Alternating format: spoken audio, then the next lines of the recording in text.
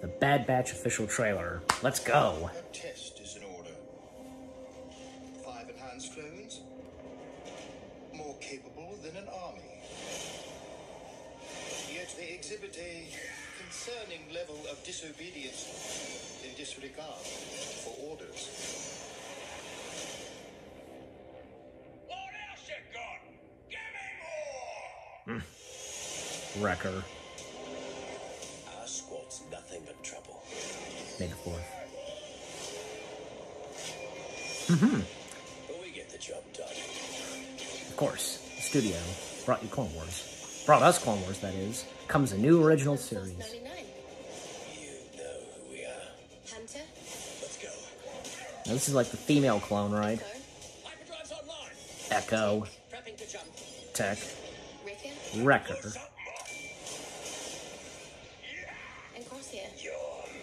Crosshair.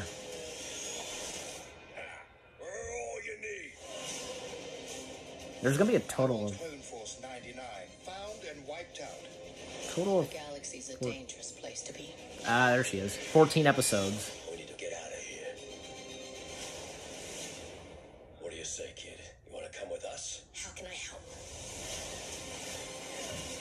Now they do not follow Order 66. The Clone Wars have ended. There's Rex.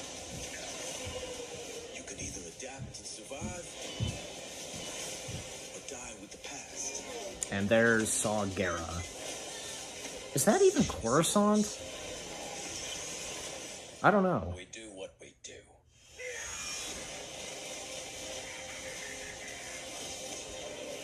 Strap in, kid. It's gonna be very interesting to see how they're gonna disobey Order 66. You know what I'm saying? That's it. Wow. That was really good. I can't wait for the Bad Batch. Hey guys, so that was my reaction to the official trailer to the Bad Batch. I can't wait for this show. It's gonna be really good. And because, you know, me being a Clone Wars fan, of course, uh, it's gonna be awesome. And for this being the spin-off of the Clone Wars, um, everything that was going on in the trailer was awesome because we're getting, of course, what's her face from The Mandalorian and Saw Gerrera.